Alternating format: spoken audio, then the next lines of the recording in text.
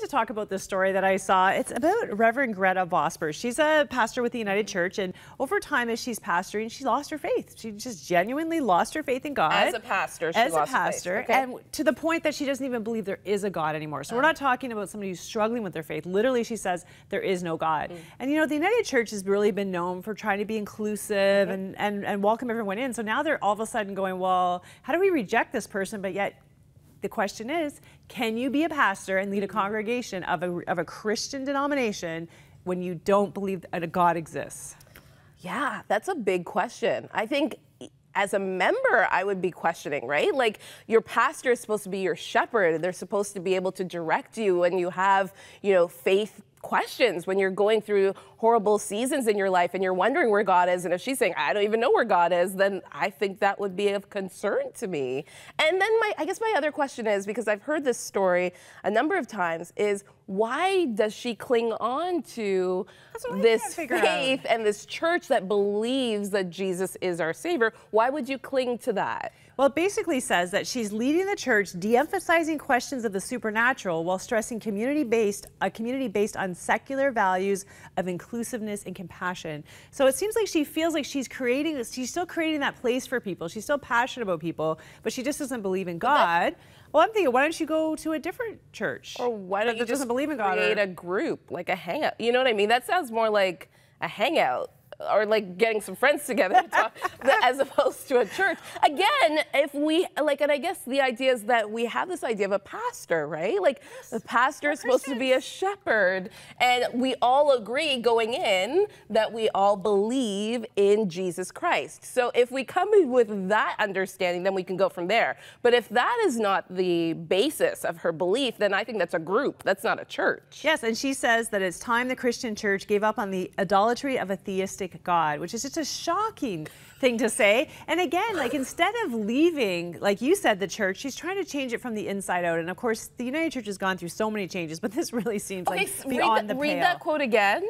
she says it is time that the Christian church gave up on the idolatry of a theistic God. Okay, Christian. Christian. Like they're like they're yeah. It does seem Christian to kind of like go church. against just common sense.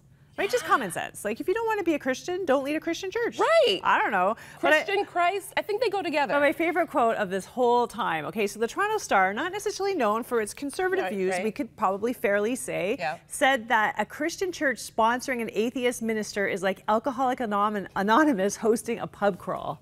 Yes! Right? That hits the nail right on the head. Yeah, we need to move on. Well, you know what? We're seeing a lot of changes in culture. And, I, you know, I was with an Evangelical Fellowship of Canada, had like a leaders meeting, just talking about um, some of the challenges facing us as Christians and how can we kind of get together and talk about that and how to move forward and what do we need to change. And one of the things that we really talked about is that culture has changed. Mm. So our parents probably grew up in a culture that was mostly Christian and they could count it, they're, they're part of the majority. This was, you know, a country founded kind of by Christians who wanted the freedom to follow their faith, and a lot of people were Christians right. per se, or at least even culturally Christian, Cultural, yes. would have identified that way. But basically, all the studies are telling us that we have moved into now a post-Christian or even a secular culture, mm. and as Christians, like Christians who follow Jesus, not cultural Christians, but people who really want to follow Jesus. Mm -hmm. Basically, we're we're a minority, mm. but we're people who are used to being a majority, and so the so they're kind of talking about how do we live now as a minority? It takes different skills yeah. to live as a minority in a culture that wants to shut us up. Basically, yeah. doesn't want us to have a voice even. Well, I mean, I feel that way all the time. Anytime we do speak about a certain issue, we're kind of we're criticized for it. Um, we're seen as you know being intolerant. Like there are all of these labels that come across when we do speak up. And that makes me feel like, yeah, we are a minority. You know, I was just speaking recently to a millennial who feels like there's no reason to even go to church. Yeah, I believe in Jesus, but I, I don't feel like I have to darken the door of a church. So, yeah, the, the climate is changing. Mm -hmm. And how do we?